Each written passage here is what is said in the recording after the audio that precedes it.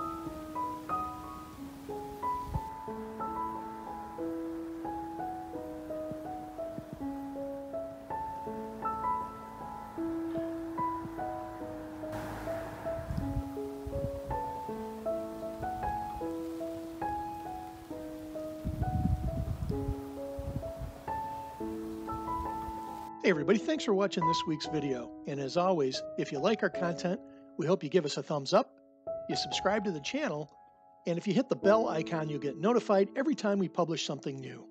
Take care.